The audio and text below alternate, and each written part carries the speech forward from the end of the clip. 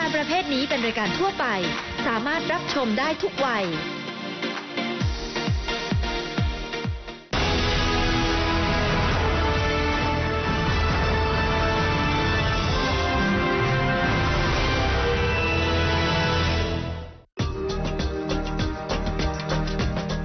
จะเรียกพุทธคยาว่าเป็นจุดหลักในเส้นทางจาริกแสวงบุญ อินเดียเนปาลก็คงไม่ผิดนัก เพราะสังเวชนียสถานแห่งนี้เนืองแน่นไปด้วยพุทธศาสนิกชนทั้งชาวไทยและชาวต่างชาติ แม้ว่าจะมีพื้นที่น้อยที่สุด เมื่อเทียบกับสังเวชนียสถานแห่งอื่นๆ แต่ชื่อของพุทธคยามักจะถูกนำมาเรียกแทนการเดินทางไปจาริกแสวงบุญ อินเดียเนปาลว่า ไปพุทธคยา แสดงถึงความสำคัญและเป็นที่จดจำของที่นี่ เรื่องเล่าข้ามโลกวันนี้เสนอตอนพุทธคยาครับ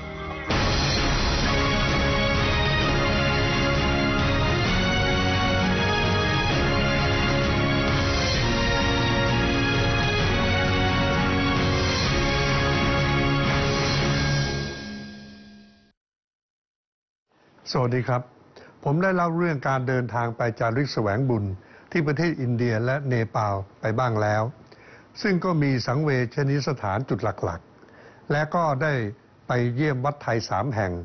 ตลอดจนได้ไปนมัสการเจ้าอาวาสของวัดทั้งสามแห่งด้วยครับ สังเวชนียสถานแห่งหนึ่ง ซึ่งพลาดไม่ได้อย่างเด็ดขาดครับ ก็คือพุทธคยา ซึ่งเป็นศูนย์กลาง ของการเดินทางไปจาริกแสวงบุญ และใกล้ ๆ กันก็ยังเป็นที่ตั้งของวัดไทยพุทธคยา ซึ่งเป็นทั้งวัด ศูนย์ข้อมูล และศูนย์ให้ความช่วยเหลือคนไทยที่ไปจาริกแสวงบุญ และยังมีสถานกงศุลและโรงพยาบาลในวัดอีกด้วยครับ ยิ่งทำให้พุทธคยาเป็นเหมือนจุดหลัก ซึ่งเรามักจะเรียกว่าไปทำบุญกันที่พุทธคยา แทนที่จะบอกว่าไปจาริกแสวงบุญ และยิ่งทำให้พุทธคยาเหมือนกับเป็นจุดหลัก ทำให้เรามักจะเรียกว่าไปทำบุญกันที่พุทธคยา แทนความหมายว่าการจาริกแสวงบุญ วันนี้เราจะมีบรรยากาศต่างๆ ของพุทธคยามาให้ชมครับ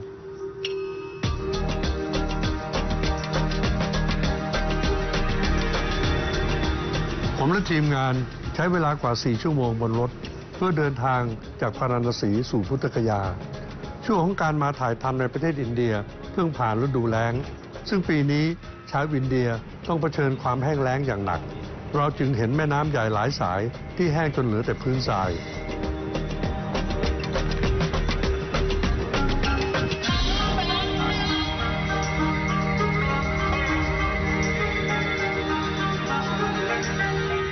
เดินทางถึงรัฐพิหารจังหวัดขยา และมาถึงกลุ่มพุทธศาสนพุทธคยาในช่วงเย็นมากแล้วนะครับ แต่ก็ยังพอมีเวลา ให้เดินเก็บภาพบรรยากาศต่างๆ ซึ่งต้องเรียนว่าเป็นภาพที่น่าตื่นตา เพราะได้เห็นผู้คนมากมาย ซึ่งเป็นพุทธศาสนิกชนจากนิกายต่างๆ เดินทางเข้ามาสักการะ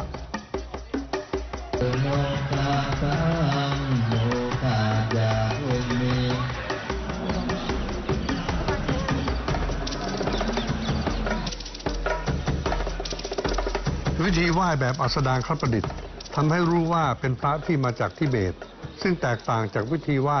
แบบเป็นจางคประดิษฐ์ที่คนไทยคุ้นเคย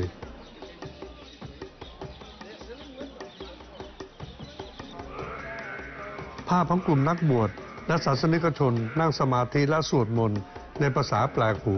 แต่ทุกคนก็ทราบว่าเป็นบทสวดที่มีความหมายเดียวกันในศาสนาพุทธทำให้พุทธคยาเป็นจุดสำคัญ และมีความหลากหลายที่สุดในสี่สังเวชนียสถาน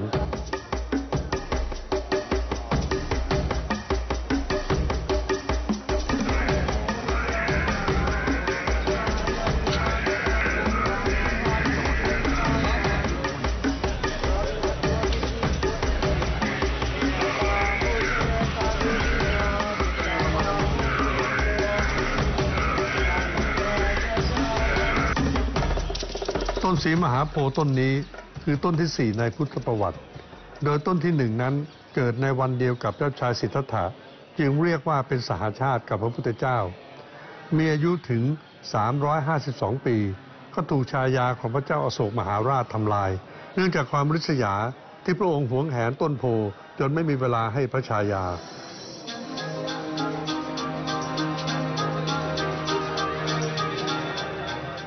ต้นที่สอง เป็นต้นที่พระเจ้าอาโศกมหาราชได้ทรงปลูกจากหน่อเดิม ก็มีอายุถึง 897 ปี จึงถูกทำลายโดยพระเจ้าสสังกา ราชาแห่งฮินดู ซึ่งไม่พอใจที่เห็นศาสนาพุทธเจริญรุ่งเรือง ต่อมาพระเจ้าปุรณะวรมา กษัตริย์พระองค์สุดท้ายของราชวงศ์เมารยะ ทรงปลูกต้นโพธิ์ต้นที่สาม มีอายุได้ 1,278 ปี จึงล้มลงตายตามธรรมชาติ ส่วนต้นที่สี่นั้นปลูกโดยนายพลเซอร์อเล็กซานเดอร์คันนิงแฮม เมื่อปีพศ 2423 และเป็นต้นที่ยังอยู่มาจนถึงปัจจุบัน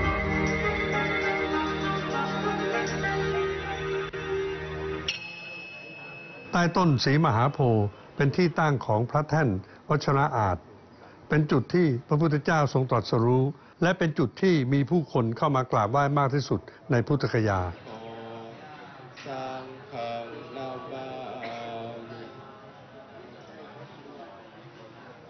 เมื่อเดินทางไปถึงพุทธคยาในวันแรกไปถึงตอนเย็นแล้วนะครับ ก็นึกว่าจะใกล้เวลาปิด แต่ก็ปรากฏว่ายิ่งข้ามคนยิ่งแยะ อาจจะเป็นเพราะว่าผู้คนส่วนใหญ่เนี่ยอยากจะไปตอนเย็นๆเนื่องจากอากาศไม่ร้อนจนเกินไป จุดที่ตั้งของมหาโพเจดี ต้นสีมหาโพและพระแท่นวัชระอาจ กลายเป็นพื้นที่ต่ำลงไป แต่จริงๆ นี่คือระดับพื้นดั้งเดิมเมื่อต้นพุทธกาลคือเมื่อ 2,500 กว่าปีมาแล้ว แต่ที่เห็นว่ามีพื้นที่สูงกว่าล้อมรอบนั้น เกิดจากดินตะกอนจากแม่น้ำที่สะสมและก่อตัวสูงขึ้น ผู้ดูแลต้องคอยกันไม่ให้เข้ามาใกล้ตรงบริเวณสำคัญ ในที่สุดก็เกิดเป็นเนินดินสูงล้อมรอบไว้ทั้งสี่ด้าน ต้องทำบันไดทางลงให้ผู้คนเข้าไปสักการะได้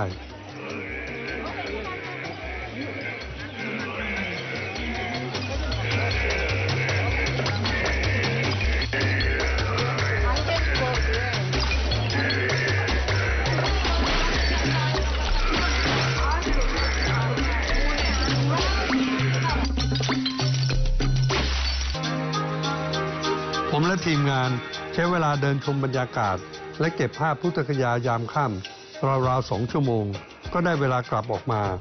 ซึ่งในตารางการทำงานจะกลับมาที่นี่ในวันรุ่งขึ้น เพราะต้องการถ่ายภาพอย่างละเอียดทุกจุด วันรุ่งขึ้น ผมและทีมงานต้องกลับมาที่พุทธสถานพุทธคยาอีกครั้ง และเริ่มทำงานในสภาพแสงช่วงเวลากลางวันกันบ้าง และวันนี้ยังได้รับความกรุณาจากพระเทพโพธิวิเทศจาวาสวัดไทยพุทธคยา ช่วยนำทีมงานเดินถ่ายทำภายในพุทธคยา และได้ให้ข้อมูลต่างๆ ซึ่งเป็นประโยชน์อย่างยิ่ง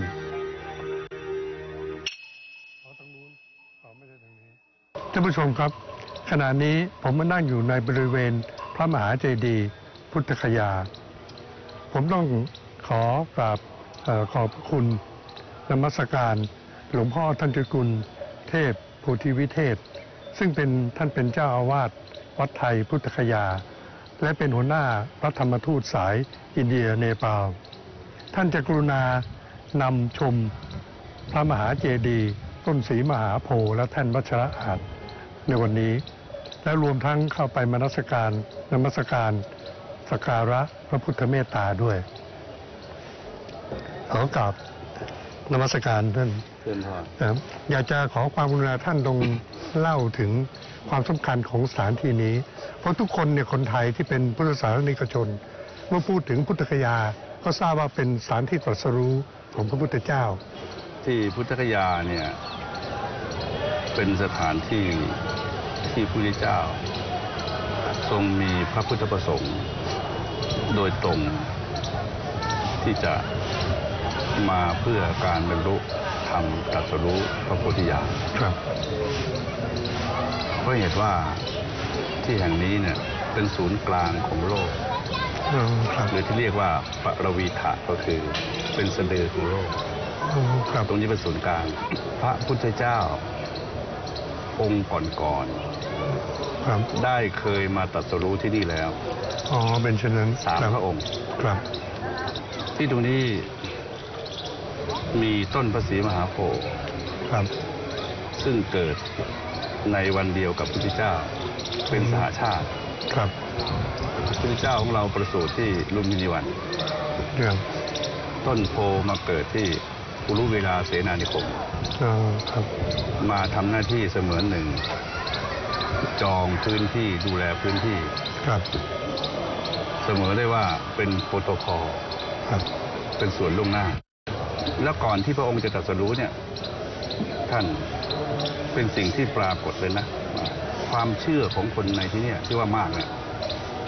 อยู่ในพรหมชาลสูตร ทิฏฐิ 62 มีความคิดถึง 62 เรื่อง ครับมาก แล้วพระองค์ก็ศึกษาวิชาเหล่านี้ 62 เรื่อง ครับ แล้วนำ62 เรื่องเนี่ย 62ลัทธิเนี่ย ไปพิสูจน์ พิสูจน์จนถึงวาระสูงสุดก็คือกดอาหารครับกั้นลมหายใจครับ นั่นคือสิ่งที่นักสิทธิ์ฤาษีพิทยาธรทั้งหลายให้ความเชื่อมั่นว่า เป็นผู้บรรลุเป็นอรหันต์ครับพระองค์พิสูจน์หมดแล้ว ครับ ที่เรามีปางพระผอมๆอ่านั่นแหละครับ แล้วแล้วช่วงเวลาที่ที่ท่าน เลือกที่จะเสด็จมาตรงนี้เนี่ยท่านทราบล่วงหน้าไหมครับก็ต้องช่วงเวลานี้ถึงจะเหมาะสมถึงจะสำเร็จ พระองค์ทราบอ๋อครับ ทราบโดยที่ที่พระองค์เนี่ยได้ตั้งปณิธาน ว่าประสงค์จะมาบำเพ็ญครับแล้วตั้งพุทธปณิธานที่จะบรรลุพระสัมมาสัมโพธิญาณครับ อันนี้ตั้งไว้แล้ว อ๋อครับอ๋อโดยครับตั้งปณิธานว่า หากแม้นว่าชีวิตเราเนี่ย เลือดจะเหือดจะแห้ง กระดูกจะผุจะพัง ครับเอ็นหนังจะยุ่ยไป เราจะไม่ลุกจากที่ตรงนี้เด็ดขาด อืมเมื่อเรายังไม่ได้โพุทธิญาณครับ นี่คือปณิธาน ครับ แล้วตามที่พวกเราได้อ่านเนี่ยนะ ทราบว่ามีพวกพญามารมาคอยรบกวนท่าน นอกจากพญามารแล้ว มีมนุษย์ไหมฮะคนที่มาคอยจะขัดขวางท่านไม่ให้ท่านสำเร็จ พญามารมีสองความหมายครับพญามารส่วนข้างนอกก็คือเป็นเทวบุตรมารที่ผ่านมาโดยความหยาบที่แสดงออกให้เห็นอาวุธอืมครับเหมือนอย่างอาวุธที่เรามีอยู่ทั่วไปครับ พออาวุธเหล่านี้ไม่ได้ สู้ไม่ได้ ครับ ก็เดี๋ยวนี้ก็มีการปฏิบัติทางจิตวิทยา ใช่ครับอ่าครับ ต่อสู้ทางจิตวิทยา ครับพญามารก็เหมือนกัน ครับ เข้ามาทางจิตอ๋อครับ มารบกวนทางจิต ครับ มาประหัตประหาร เพราะพญามารเกรงว่า หากพระองค์ล่วงพ้นจากคืนนี้ไปแล้วเนี่ย จะพ้นจากบ่วนบ่วงอ๋อจะไม่อยู่ในอานัตจะไม่อยู่ในคอนโทรล ครับ นะฮะครับพระองค์ก็ต้อง ปฏิญาณตนว่าคืนเนี้ยหากแม้นว่าเลือดเนื้อข้าพเจ้าจะเกิดจะแห้งเนี่ยยอมครับ ที่จะสิ้นชีวิตหากไม่บรรลุครับ ท่านสิ่งที่พญามารกลัวก็คือกลัวคนจริง ครับ แล้วที่สุดก็ครับผ่านพ้นคืนลำดับแห่งการตรัสรู้ครับ ถึงเวลาตอนรุ่งอรุณผ่านปฐมยามครับทุติยะและติยะ แล้วก็ ทรงผ่านการบำเพ็ญถึงปฐมฌานทุติยฌานตติยฌานครับแล้วแล้วต้นโพต้นปัจจุบันนี่เป็นเป็นหน่อที่สลายคงไม่ใช่ดั้งเดิมป็นหน่อที่สี่ครับ เป็นหน่อที่สี่เป็นยีเนเรชันที่สี่ร้อยกว่าปีอ๋อร้อยร้กอยว่าสี่ปีสิบกว่าปีครับอ่าที่ปลูกไว้ต้นที่ตรัสรู้นั่นคือ35ปีเมื่อพระเจ้ามาถึงอ๋อคต้นรับนี้เป็นต้นที่ลำดับที่สี่เองครับ ครับแล้วต้นแรกนี่เกิดอะไรขึ้นถึงเนี่ย ต้นแรกนี่เอ่อที่อยู่มาได้ 200 กว่าปี ก็มเหสีของพระเจ้าอาโศกมหาราชครับมาให้ยาพิษครับเอ่อรายาพิษเกิดจากแรงฤทธิ์นิสยาครับนะฮะก็ทำให้พระเอ่อต้นประสีมหาโพธิ์นี้ เกิดแห้งตายไป อ๋อครับต้นที่สาม ครับ นะฮะก็เป็นต้นที่ ตายไปเพราะถูกไฟไหม้ไฟเผากระครัจับดสาสังกามาทำลาอ๋อยครับนะฮะก็เหลือที่อ่าต้นที่สี่ครับที่ปรากฏอยู่นี่ ในสมัยนั้นพศ700เศษๆก็มีการบูรณะครั้งยิ่งใหญ่ ครับก็ก่อสร้างร่างอ่าขึ้นมาจนเต็ม ครับกก็ทำให้เกิดมีพระมหาเจดีย์ครับ อยู่โดยศรัทธาของผู้คนที่สูงอืมจนปัจจุบันครับนี้เป็นศูนย์กลางใจแล้วเป็นที่เกิดมาในระยะหลัง แต่เป็นเด่นสง่าที่สุดเป็นก่อนครับ ต้องกราบขอบพระคุณท่านเจ้าคุณเป็นอย่างยิ่งครับที่ได้กรุณาให้ความกระจ่างครับขอกราบสาธุครับครับ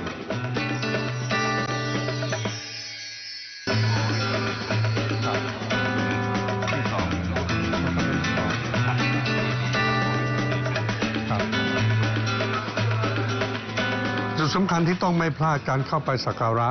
คือห้องบูชาคล้ายอุโบสถหลังเล็ก ซึ่งภายในเป็นที่ประดิษฐานของพระพุทธเมตตา พระพุทธรูปปางมารวิชัย ด้านหน้าห้องจะมีผู้คนมารอคิว เพื่อเข้าไปสักการะเป็นจำนวนมาก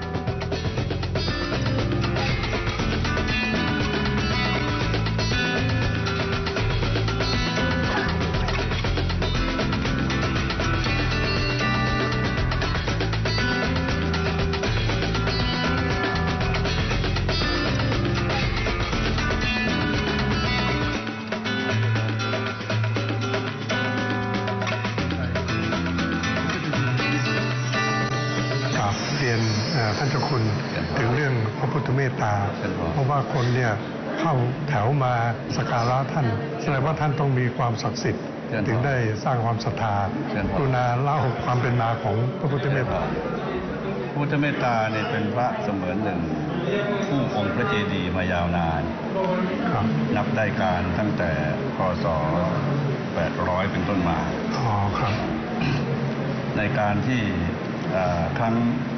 หนึ่งทางบ้านเมือง กษัตริย์ทางบ้านเมืองมีรับสั่งให้มาทำลายล้างอืมสิ่งที่เป็นของพุทธศาสนาครับซึ่งพระองค์นี้ก็อยู่ในเป้าหมายครับแต่ท่านเสนาบดีเนี่ยท่านมีรับสั่งให้มาทุบทำลายพุทธรูปที่เสียครับแต่พอมาเห็นพระรูปดูพระพักตร์ดูอ่าดูพระพัก ตร์ดูพระจักสุแล้ว ครับท่านมีแต่ความเมตตาปรีดล้นเอ่อสมจึชื่งอไม่สามารถที่จะทำลายได้ ครับแต่เพื่อจะสนองคุณของพระราชาครับจึงใช้แผ่นอิฐหินปิดประตูไว้ แล้วไปกราบทูลองค์พระผู้รับสั่งมาครับว่างานได้เสร็จแล้วอ่าเมตตาก็ถืออย่างนี้ตลอดครับในยุคที่การทำ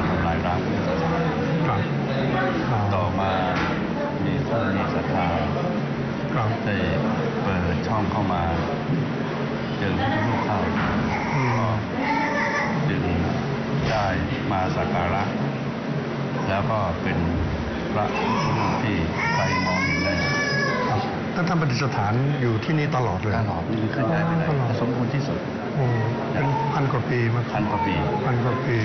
แล้วพลังที่มาคนจะมาศพพระเนตรพระองค์ใช่จะเห็นว่าเหมือนพระองค์เนี่ย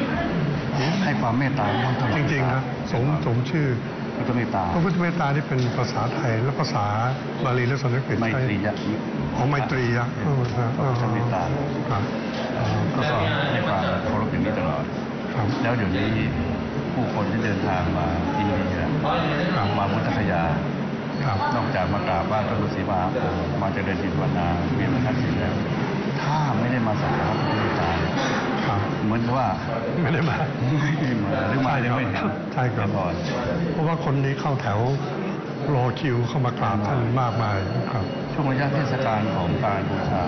ชาวฮินดู ไม่ใช่พุทธหมดนะท่านครับที่มาเนี่ยไม่ใช่พุทธหมดนะก็ครับชาวฮินดูครับชาวต่างศาสนาก็เยอะนะฮะครับมาไหว่าท่านทั้งนั้นอ่าครับแต่ที่เราเห็นทั้งหมดเนี่ยทั้งหมดเนี่ยครับไม่มีพุทธสุดเอ่อที่เจ้าหน้าเจ้าหน้าเนี่ยอ๋อตรงนี้คือศาสนาฮินดูครับอิสลามก็มีครับศาสนาอื่นก็มีนี่ที่ผมพาดำๆเนี่ยเนี่ยครับอย่างเงี้ยของศาสนาครับแต่พระองค์ท่านเนี่ยมองทุกคนเนี่ย ไม่ว่าศาสนาไหน ให้ความเมตเมตตาหมดนะฮะนั้นทุกคนเลยต้องมาหาพระองค์ในเวลามีงานเทศกาลอ่าครับ